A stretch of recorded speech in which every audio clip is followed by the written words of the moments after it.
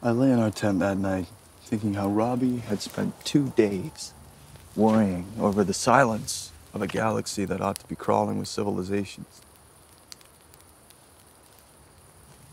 How could anyone protect a boy like that from his own imagination? Let alone from a few carnivorous third graders flinging shit at him.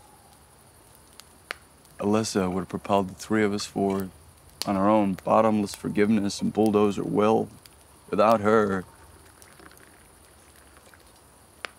I was flailing.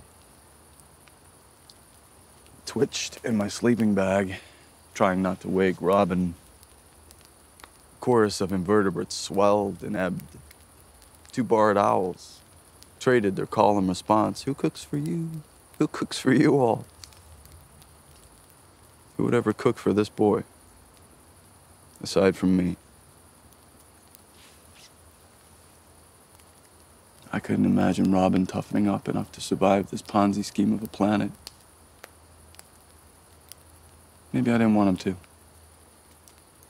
I liked him otherworldly.